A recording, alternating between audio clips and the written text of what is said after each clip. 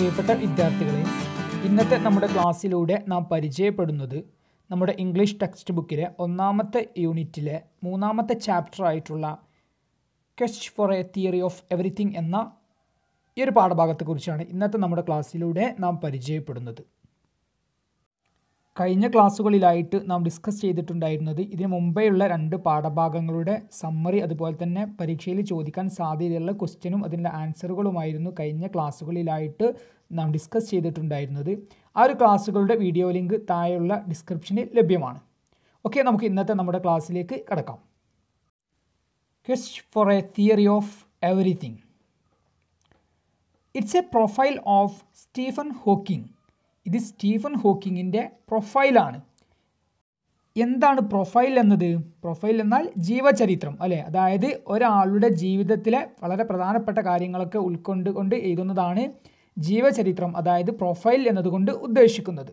Okay it's a profile of Stephen Hawking ഇതെന്താണ്? നമ്മളിവിടെ പഠിക്കുന്നത് സ്റ്റീഫൻ ഹോക്കിങ്ങിന്റെ പ്രൊഫൈലാണ്.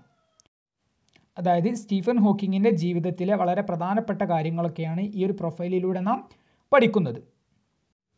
ഹു വാസ് സ്റ്റീഫൻ ഹോക്കിംഗ് ആരായിരുന്നു Stephen Hawking he was a world famous scientist ലോക പ്രശസ്തനായിരിക്കുന്ന ഒരു ശാസ്ത്രജ്ഞനായിരുന്നു ആര്? സ്റ്റീഫൻ ഹോക്കിംഗ് ലോകത്ത് അറിയപ്പെടുന്ന ഒരു ശാസ്ത്രജ്ഞനായിരുന്നു Stephen Hawking he was born in England അദ്ദേഹം ജനിച്ചത് എവിടെയാണ്?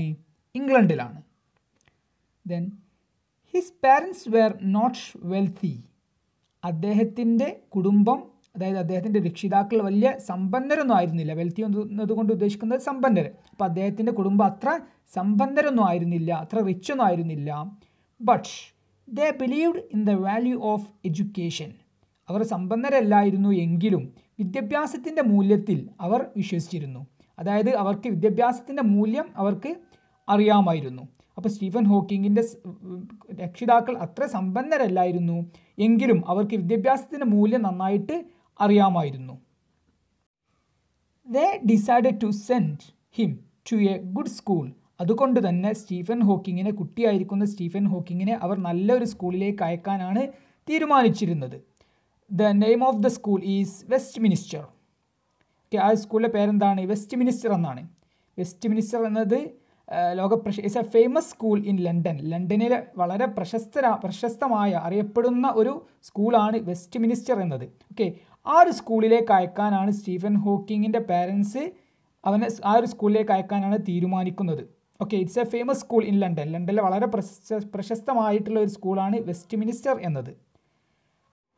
But he couldn't write the entrance exam to that school പക്ഷേ ആ ഒരു സ്കൂളിലേക്ക് പ്രവേശനത്തിനുള്ള എൻട്രൻസ് എക്സാം എഴുതാൻ അവന് സ്റ്റീവൻ ഹോക്കിങ്ങിന് സാധിച്ചില്ല. കാരണം എന്താണ്? He was ill at the time of that exam ആ ഒരു എക്സാമിന്റെ ആ ഒരു പരീക്ഷയുടെ സമയത്ത് അവന് ഇൽ ഇല്ലെന്ന അസുഖം. അപ്പോൾ അവന് അസുഖമായതുകൊണ്ട് തന്നെ വെസ്റ്റ് മിനിസ്റ്റർ എന്ന ഫേമസ് ആയിട്ടുള്ള സ്കൂളിലേക്കുള്ള എൻട്രൻസ് എക്സാം എഴുതാൻ അവന് സാധിച്ചില്ല. So he attend in another school അതുകൊണ്ട് തന്നെ മറ്റൊരു സ്കൂളിലാണ് അവന് അഡ്മിഷൻ ലഭിച്ചിട്ടുള്ളത്. His dream was to become a scientist അദ്ദേഹം കുട്ടിയായിരിക്കുന്ന സമയത്ത് തന്നെ അദ്ദേഹത്തിന്റെ അവന്റെ ആഗ്രഹം എന്തായിരുന്നു? ഒരു ലോ ഒരു ശാസ്ത്രജ്ഞനാവാനായിരുന്നു അവന്റെ ആഗ്രഹം. He was interested in maths and physics കുട്ടിയായിരിക്കുന്ന സമയത്ത് തന്നെ മാത്സിലും അതുപോലെ തന്നെ ഫിസിക്സിലും വളരെയധികം താല്പര്യം ഉണ്ടായിരുന്നു അവന് പഠിക്കാൻ. ദെൻ ഹി സ്റ്റഡീഡ് വെൽ അവൻ നന്നായിട്ട് പഠിച്ചു. Then he completed his graduation from Oxford University അങ്ങനെ അദ്ദേഹം പഠിച്ച് അദ്ദേഹത്തിന്റെ ഗ്രാജുവേഷൻ അതായത് ബിരുദം ഡിഗ്രി പൂർത്തിയാക്കിയത് എവിടെ വെച്ചാണ്? ഓക്സ്ഫോർഡിൽ വെച്ചാണ്. ഓക്കെ ലോക പ്രശസ്തമായിട്ടുള്ള ഒരു കോളേജ് ഒരു യൂണിവേഴ്സിറ്റിയാണ് ഓക്സ്ഫോർഡ് എന്നത്. ഓക്കെ അപ്പോൾ അദ്ദേഹം അദ്ദേഹത്തിന്റെ ഗ്രാജുവേഷൻ ബിരുദം പൂർത്തിയാക്കിയത് എവിടെ വെച്ചാണ്? ഓക്സ്ഫോർഡ് യൂണിവേഴ്സിറ്റിയിൽ വെച്ചാണ്. And he completed his P H D from Cambridge University അങ്ങനെ അദ്ദേഹം അദ്ദേഹത്തിന്റെ പി എച്ച് ഡി അതായത് ഡോക്ടറേറ്റ് കംപ്ലീറ്റ് ആക്കിയത് എവിടെ വെച്ചിട്ടാണ്? കാംബ്രിഡ്ജ് യൂണിവേഴ്സിറ്റി വെച്ചാണ്. അപ്പോൾ കാംബ്രിഡ്ജ് യൂണിവേഴ്സിറ്റി എന്നതും ലോക പ്രശസ്തമായിട്ടുള്ള ഒരു യൂണിവേഴ്സിറ്റിയാണ് അങ്ങനെ അതായത് അദ്ദേഹം ഓക്സ്ഫോർഡ് യൂണിവേഴ്സിറ്റിയിലും പഠിച്ചു അതുപോലെ തന്നെ കാംബ്രിഡ്ജ് യൂണിവേഴ്സിറ്റിയിലും അദ്ദേഹം പഠിച്ചു. ഓക്സ്ഫോർഡ് യൂണിവേഴ്സിറ്റിയിൽ വെച്ച് അദ്ദേഹം ബിരുദം പൂർത്തിയാക്കി അതുപോലെ തന്നെ കാംബ്രിഡ്ജ് യൂണിവേഴ്സിറ്റിയിൽ വെച്ച് അദ്ദേഹം അദ്ദേഹത്തിന്റെ ഡോക്ടറേറ്റും പൂർത്തിയാക്കി. He faced many problems at the time of his study അദ്ദേഹം പഠിക്കുന്ന സമയത്ത് അദ്ദേഹത്തിന്റെ പഠന സമയങ്ങളിലൊക്കെ അദ്ദേഹം ധാരാളം പ്രശ്നങ്ങൾ പ്രയാസങ്ങൾ നേരിട്ടിരുന്നു. എന്തൊക്കെയായിരുന്നു ആ ഒരു പ്രയാസങ്ങൾ? നമുക്കൊന്ന് നോക്കാം. He had fallen many times without any reason അദ്ദേഹം പല തവണ ഫാളൻ വീണിട്ടുണ്ടായിരുന്നു വിത്തൗട്ട് എനി റീസൺ ഒരു കാരണമില്ലാതെ അദ്ദേഹം അങ്ങനെ നടക്കുന്ന സമയത്ത് ഒരു കാരണമില്ലാതെ തട്ടി തടയാതെ തന്നെ പെട്ടെന്ന് ഒരു കാരണമില്ലാതെ അദ്ദേഹം പെട്ടെന്ന് വീഴുമായിരുന്നു. അതുപോലെ തന്നെ he had felt difficult to tie his shoes അദ്ദേഹത്തിന്റെ ഷൂവിന്റെ ടൈ കെട്ടാൻ പോലും അദ്ദേഹത്തിന് ബുദ്ധിമുട്ടുകൾ പലപ്പോഴും അനുഭവ അനുഭവപ്പെട്ടിട്ടുണ്ടായിരുന്നു. അതായത് അദ്ദേഹത്തിന് വളരെയധികം എന്തൊക്കെ ശാരീരികമായ വളരെ പ്രയാസങ്ങൾ നേരിട്ടിരുന്നു പഠിക്കണ സമയത്ത്. അതുപോലെ തന്നെ he had felt difficult to talk പലപ്പോഴും സംസാരിക്കുന്ന സമയത്ത് അദ്ദേഹത്തിന് ബുദ്ധിമുട്ട് അനുഭവ അനുഭവപ്പെട്ടിരുന്നു. ഓക്കെ അപ്പോൾ പല സമയത്തും സംസാരിക്കുന്ന സമയത്ത് സംസാരിക്കാൻ ചില ബുദ്ധിമുട്ടുകൾ അദ്ദേഹം അനുഭവിച്ചിരുന്നു. ഇത് പഠിക്കുന്ന സമയത്ത് തന്നെ. ഹി ബിക്കെയിം എ പേഷ്യൻ അങ്ങനെ അദ്ദേഹം എന്താണ്? അതൊക്കെ ലോകത്തിന്റെ ഒരു രോഗത്തിന്റെ ലക്ഷണമായിരുന്നു. അങ്ങനെ അദ്ദേഹം ഒരു രോഗിയായി മാറി. Okay he became a patient അദ്ദേഹം ഒരു രോഗിയായി മാറി. ദ ഡിസീസ് വാസ് സീരിയസ് അദ്ദേഹത്തിന്റെ അസുഖം വളരെ സീരിയസ് ആയിട്ടുള്ള ഒരു അസുഖമായിരുന്നു. It affected his brain and spinal cord അദ്ദേഹത്തിന്റെ ഒരു അസുഖം ബാധിച്ചത് അദ്ദേഹത്തിന്റെ ബ്രെയിൻ തലച്ചോറിനെയും അതുപോലെ തന്നെ സ്പൈനൽ കോഡ് സുഷുമ്ന നാഡിയുമായിരുന്നു അതായത് നമ്മുടെ നട്ടിലിനെയും തലച്ചോറിനെയൊക്കെ ബാധിപ്പിക്കുന്ന ആ സുഷുമ്ന നാഡിയയുമായിരുന്നു അദ്ദേഹത്തിന്റെ അസുഖം അദ്ദേഹത്തെ ബാധിച്ചത്. അതായത് അദ്ദേഹത്തിനുണ്ടായിരുന്ന അസുഖം വളരെ സീരിയസ് ആയിട്ടുള്ള ഒരു അസുഖമായിരുന്നു. The name of the disease is amyotrophic lateral sclerosis okay ഇതായിരുന്നു അദ്ദേഹത്തിന്റെ ആ ഒരു അസുഖത്തിന്റെ പേര്. അപ്പോൾ ഇതൊരു മാരകമായിട്ടുള്ളൊരു അസുഖമാണ്. അതായത് അദ്ദേഹത്തിന്റെ ബ്രെയിനെയും അതുപോലെ തന്നെ സുഷുമ്ന നാഡിയെയൊക്കെ ബാധിച്ച ഒരു മാരകമായിട്ടുള്ളൊരു അസുഖമായിരുന്നു അദ്ദേഹത്തിന് ഉണ്ടായിരുന്നത്. It was a shocking news for Hawking പഠിക്കുന്ന സമയത്ത് തന്നെ ഈ അസുഖം ഉണ്ടായത് സ്റ്റീഫൻ ഹോക്കിങ്ങിന് വളരെയധികം ഷോ ഒരു ഷോക്കിംഗ് ആയിട്ടുള്ള ഒരു വാർത്തയായിരുന്നു. ഹി വാസ് ഡിപ്രസ്ഡ് അദ്ദേഹം ആകെ ഡിപ്രസ്ഡായി ദെൻ അതായത് അദ്ദേഹത്തിന് ആകെ വിഷമായി. അല്ലെങ്കിൽ മാനസികമായി അദ്ദേഹം വളരെയധികം തളർന്നു ഈ ഒരു അസുഖം ഉണ്ടായ സമയത്ത്. He didn't know what to do അദ്ദേഹത്തിന് അറിയില്ലായിരുന്നു എന്ത് ചെയ്യണം എന്നുള്ളത്. ഇപ്പോൾ ആ ഒരു അസുഖമുള്ള സമയത്ത് എന്ത് ചെയ്യണം എന്ന് അദ്ദേഹത്തിന് അറിയില്ലായിരുന്നു. Then he faced the situation positively പക്ഷേ അദ്ദേഹം ഇങ്ങനെ ഈ ഒരു സാഹചര്യങ്ങളൊക്കെ ഈ ഒരു സിറ്റുവേഷനൊക്കെ എന്ത് ചെയ്തു? പോസിറ്റീവായിട്ട് നേരിട്ടു. ദെൻ ആ ഒരു സമയത്ത് തന്നെ he married Jane Wilde Jane Wilde എന്ന് പറയുന്ന ഒരു സ്ത്രീയെ അദ്ദേഹം വിവാഹം കഴിച്ചു. His wife supported him to continue his studies അങ്ങനെ അദ്ദേഹം വിവാഹമൊക്കെ കഴിച്ചതിന് ശേഷം അദ്ദേഹത്തിന്റെ ഭാര്യ അദ്ദേഹത്തിനെ സഹായിച്ചു ടു കണ്ടിന്യൂ ഹിസ് സ്റ്റഡീസ് പഠനങ്ങളിലൊക്കെ പഠനങ്ങളൊക്കെ തുടരാനും വേണ്ടി അദ്ദേഹത്തിന്റെ ഭാര്യ ആയിട്ടുള്ള ജെയിൻ വൈൽഡ് അദ്ദേഹത്തെ നന്നായിട്ട് സഹായിച്ചു. ഷീ ഗേവ് ഹിം കോൺഫിഡൻസ് അവൾ അദ്ദേഹത്തിന് എന്ത് നൽകി? ആത്മവിശ്വാസം നൽകി. ഓക്കെ അങ്ങനെ ഭാര്യയുടെ സഹായത്തോടു കൂടി അദ്ദേഹം വീണ്ടും പഠനം കണ്ടിന്യൂ ചെയ്തു തുടർന്നു. Walt Woltosz a computer expert in California send him a program Equalizer okay അങ്ങനെ അദ്ദേഹത്തിന്റെ ഈ ഒരു കഴിവുകളൊക്കെ തിരിച്ചറിഞ്ഞ ഒരു കമ്പനി വാൾട്ട് വോൾട്ടോസ് എന്ന് പറയുന്ന ഒരു കമ്പ്യൂട്ടർ എക്സ്പേർട്ട് ആയിട്ടുള്ള ഒരു കാലിഫോർണിയയിലെ ഒരു കമ്പനി എന്ത് ചെയ്തു? അദ്ദേഹത്തിന് ഒരു ഇക്വലൈസർ എന്ന് പറയുന്ന ഒരു ഒരു സിസ്റ്റം ഓക്കെ ഒരു കമ്പ്യൂട്ടർ സിസ്റ്റം അദ്ദേഹത്തിന് കൊടുത്തു.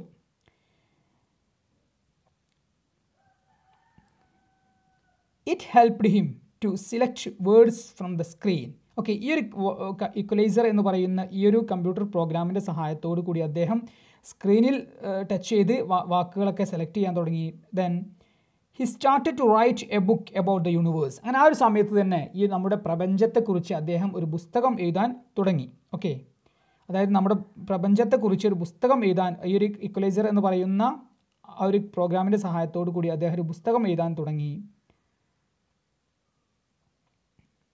Equalizer help him helps him to select words from the screen ഈ എക്വലൈസർ എന്ന് പറയുന്ന ഈ ഒരു പ്രോഗ്രാം കമ്പ്യൂട്ടർ പ്രോഗ്രാം അദ്ദേഹത്തിന് എന്താണ് ഇതിനൊക്കെ സഹായം നൽകി. അങ്ങനെ ഹി കംപ്ലീറ്റഡ് എ ബുക്ക് അങ്ങനെ അദ്ദേഹം ഒരു പുസ്തകം പൂർത്തിയാക്കി. നമ്മുടെ പ്രപഞ്ചത്തെക്കുറിച്ച് എഴുതുന്ന ഒരു പുസ്തകം അദ്ദേഹം പൂർത്തിയാക്കി. The name of his book is a brief history of time അദ്ദേഹം കംപ്ലീറ്റ് ആക്കിയിട്ടുള്ള പൂർത്തിയാക്കിയിട്ടുള്ള ഒരു പുസ്തകത്തിന്റെ പേരാണ് a brief history of time എന്നത്. അങ്ങനെ he became a world famous scientist അങ്ങനെ അദ്ദേഹം ലോകപ്രശസ്തനായ ഒരു ശാസ്ത്രജ്ഞനായി ധാരാളം കണ്ടുപിടുത്തങ്ങളെ കണ്ടുപിടിച്ച് അങ്ങനെ ലോകപ്രശസ്തനായ ഒരു ശാസ്ത്രജ്ഞനായി മാറി. ഹി അച്ചീവ്ഡ് ഹിസ് ഡ്രീം അദ്ദേഹം അദ്ദേഹത്തിന്റെ സ്വപ്നങ്ങൾ അച്ചീവ് ചെയ്തു. അദ്ദേഹത്തിന്റെ സ്വപ്നം എന്തായിരുന്നു? ടു ബിക്കം എ സയന്റിസ്റ്റ് കുട്ടിയായിരിക്കുന്ന സമയത്ത് തന്നെ അദ്ദേഹത്തിന്റെ സ്വപ്നം ഒരു ശാസ്ത്രജ്ഞനാകുക എന്നുള്ളതായിരുന്നു. അങ്ങനെ ധാരാളം ബുദ്ധിമുട്ടുകളും പ്രയാസങ്ങളൊക്കെ ഓവർകം ചെയ്ത് അദ്ദേഹം ഒരു വലിയൊരു ശാസ്ത്രജ്ഞനായി മാറി. Then he is a role model to all people ലോകത്തുള്ള എല്ലാ ആളുകൾക്കും ഒരു റോൾ മോഡലാണ് അദ്ദേഹം. കാരണം എന്താണ്? എല്ലാ സാഹചര്യങ്ങളെയും ബുദ്ധിമുട്ടായ സാഹചര്യങ്ങൾ അദ്ദേഹം പോസിറ്റീവായി നേരിട്ടു. കാരണം എന്താ? He faced the problems of life with positive mind അദ്ദേഹം നേരിട്ട എല്ലാ പ്രശ്നങ്ങളെയും പ്രയാസങ്ങളെയും ഒക്കെ അദ്ദേഹം പോസിറ്റീവായിട്ടുള്ള മനസ്സോടുകൂടി എല്ലാത്തിനെയും നേരിട്ടു. ഹി ഓവർകെയിം ഹിസ് പ്രോബ്ലംസ് അങ്ങനെ അദ്ദേഹത്തിന്റെ എല്ലാ പ്രയാസങ്ങളെയും ബുദ്ധിമുട്ടുകളൊക്കെ അദ്ദേഹം ഓവർകം ചെയ്തു തരണം ചെയ്തു. Through his life he proved nothing is impossible അദ്ദേഹത്തിന്റെ ജീവിതത്തിലൂടെ അദ്ദേഹം തെളിയിച്ചു. ലോകത്തിന് മുമ്പായിട്ട് തെളിയിച്ചു എന്ത്? നത്തിങ് ഈസ് ഇമ്പോസിബിൾ അസാധ്യമായിട്ടുള്ളത് ഒന്നും ലോകത്തില്ല എന്ന് അദ്ദേഹം തെളിയിച്ചു. എങ്ങനെയാണ് അദ്ദേഹം തെളിയിച്ചത്? He overcame all his disabilities and achieved his dream അദ്ദേഹത്തിന്റെ എല്ലാ പോരായ്മകളെയും പ്രയാസങ്ങളെയും ബുദ്ധിമുട്ടുകളെയും ഒക്കെ അദ്ദേഹം ഓവർകം ചെയ്തു നേരിട്ടു. തരണം ചെയ്തു. ആൻഡ് അച്ചീവ്ഡ് ഹിസ് ഡ്രീം അദ്ദേഹത്തിന്റെ സ്വപ്നം അദ്ദേഹം അച്ചീവ് ചെയ്തു നേടിയെടുത്തു. അദ്ദേഹത്തിന്റെ സ്വപ്നം എന്തായിരുന്നു? ടു ബിക്കം എ സയന്റിസ്റ്റ് ലോക പ്രശസ്തനായ ഒരു സയന്റിസ്റ്റ് ആവാനായിരുന്നു അദ്ദേഹത്തിന്റെ ആഗ്രഹം. എല്ലാ പ്രയാസങ്ങളെയും ബുദ്ധിമുട്ടുകളെയൊക്കെ അദ്ദേഹം ഓവർകം ചെയ്ത് അങ്ങനെ അദ്ദേഹം ലോക പ്രശസ്തനായ ഒരു ശാസ്ത്രജ്ഞനായി മാറി. ചുരുക്കി പറഞ്ഞാൽ ഇത്രയും കാര്യങ്ങളാണ് ഈ ഒരു പ്രൊഫൈലിലൂടെ പറയുന്നത്. അതായത് ലോകപ്രശസ്തനായ സ്റ്റീഫൻ ഹോക്കിങ് ലോകപ്രശസ്തനായ ശാസ്ത്രജ്ഞനായ സ്റ്റീഫൻ ഹോക്കിങ്ങിനെ കുറിച്ചാണ് ഈ ഒരു പ്രൊഫൈൽ പറയുന്നത്. ഇതിലെന്താണ് പറയുന്നത്? അദ്ദേഹം പഠിക്കുന്ന സമയത്ത് ധാരാളം ബുദ്ധിമുട്ടുകളും പ്രയാസങ്ങളും പല അസുഖങ്ങളും അദ്ദേഹം നേരിട്ടു എങ്കിലും അതിനൊക്കെ അദ്ദേഹം പോസിറ്റീവ് മൈൻഡോട് കൂടി അദ്ദേഹം നേരിട്ടു. അങ്ങനെ അദ്ദേഹത്തിന്റെ കുട്ടിക്കാലത്തുള്ള ഒരു സ്വപ്നമായിരുന്നു to become a famous scientist ലോക പ്രശസ്തനായ ഒരു ശാസ്ത്രജ്ഞനാവുക എന്ന് എന്നുള്ളതായിരുന്നു അദ്ദേഹത്തിന്റെ ആഗ്രഹം. അത് അദ്ദേഹം എന്ത് ചെയ്തു? അച്ചീവ് ചെയ്തു. അങ്ങനെ he overcame all his disabilities and problems എല്ലാ പ്രയാസങ്ങളെയും ബുദ്ധിമുട്ടുകളെയൊക്കെ അദ്ദേഹം ഓവർകം ചെയ്ത് അദ്ദേഹം ലോക പ്രശസ്തനായ ഒരു ശാസ്ത്രജ്ഞനായി മാറി. And he be he became a unique man in the world ലോകത്തിൽ ഒരു യുണീക്കായിട്ടുള്ള അതുല്യനായിട്ടുള്ള ഒരു മനുഷ്യനായി മാറി. ഓക്കെ ഇതിന് മുമ്പുള്ള പാഠത്തിൽ ഇവിടെ പറയുന്നുണ്ട് doctor A P J Abdul Kalam നമ്മോട് പറയുന്നുണ്ട് ഇതൊരു യുണീക്ക് ആവാൻ അതുല്യനാകാൻ. അപ്പോൾ അതിനൊരു ഉദാഹരണമായിട്ട് നമുക്ക് പറയാമെന്ത് സ്റ്റീഫൻ ഹോക്കിംഗ് ലോകത്തിലെ ഒരു യുണീക്ക് ആയിട്ടുള്ള മനുഷ്യനാണ് എന്ന് പറയാം. ഓക്കെ അപ്പോൾ ഇത്രയും കാര്യങ്ങളാണ് ഈ ഒരു സ്റ്റീഫൻ ഹോക്കിങ്ങിന്റെ ഈ ഒരു പ്രൊഫൈലിലൂടെ നാം മനസ്സിലാക്കേണ്ടതായിട്ടുള്ളത്. ഇനി ഒരു പാഠഭാഗം എത്രത്തോളം നമുക്ക് മനസ്സിലായിട്ടുണ്ടെന്ന് ചെക്ക് ചെയ്യാനും വേണ്ടി ചില ചോദ്യങ്ങൾ ഞാൻ തരികയാണ്. ഈ ഒരു ചോദ്യത്തിനുള്ള ഉത്തരങ്ങളൊക്കെ നമുക്ക് കിട്ടിക്കഴിഞ്ഞാൽ ഈ ഒരു പാഠഭാഗം ഏകദേശമൊക്കെ നമുക്ക് മനസ്സിലായിട്ടുണ്ടെന്ന് നമുക്ക് മനസ്സിലാക്കാം. ഓക്കെ അപ്പോൾ നമുക്ക് നമുക്ക് ക്വസ്റ്റ്യനിലേക്ക് കിടക്കാം. ക്വസ്റ്റ്യൻ വായിക്കുന്ന സമയത്ത് ക്വസ്റ്റ്യൻ നന്നായിട്ട് വായിക്കുക മനസ്സിലാക്കുക ക്വസ്റ്റ്യനുള്ള ആൻസർ സ്വന്തമായിട്ട് തന്നെ എഴുതാൻ ശ്രമിക്കുക. ഓക്കെ അതിനുശേഷം താഴെയുള്ള ഡിസ്ക്രിപ്ഷനിൽ ഇത് ഈ ഒരു ക്വസ്റ്റ്യനിൽ ചോദ്യങ്ങൾക്കുള്ള ആൻസറുകളൊക്കെ ഞാൻ തന്നിട്ടുണ്ടാകും. അപ്പോൾ അതൊന്ന് രണ്ടാം നിങ്ങൾ എഴുതിയതും അതൊന്ന് ചെക്ക് ചെയ്ത് മനസ്സിലാക്കുക. നമുക്ക് ചോദ്യങ്ങളിലേക്ക് കിടക്കാം. First question whose profile is this ആരുടെ പ്രൊഫൈലാണ് ഇത്?